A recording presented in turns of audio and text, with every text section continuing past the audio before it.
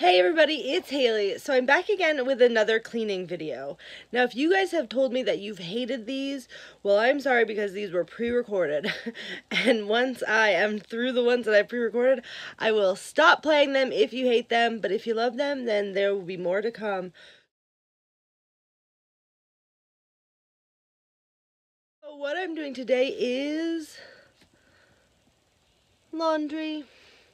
So we are very good at doing our, oops, we are very good at doing our laundry. This is all clean clothes. The one thing we're not good at is putting it away. So typically what happens is we fold everything, it ends up in a basket, we live out of baskets for a couple of weeks, and then it's laundry day again. We had done a massive laundry day, like everything we could possibly clean, we cleaned last laundry day. So when new laundry day happened, it just got bad. So what I'm actually going to do uh, today is I'm going to do a put away this laundry with me. It is going to be fast motion, so enjoy. See you guys.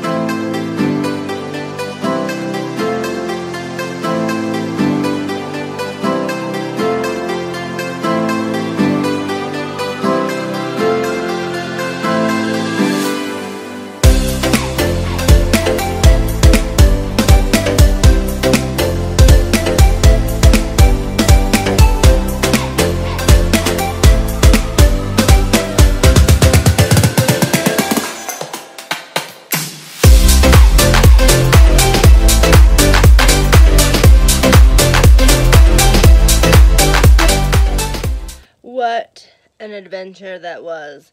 Sadly, I have to say, we still have about three loads of laundry that are going, um, meaning that they have been washed, but they're waiting to be dried because we only have a dryer at the moment. We do our laundry at the laundromat. Typically, we wash and dry, but they were out of quarters or their quarter machine was broken, so we could only wash today. And I just heard the dryer. I'm to make Daddy go get it. Hey, Kenny! Can you get that load of laundry? In the in the dryer. So the laundry is not done. It's still dry, still wet. So I don't have another load to do.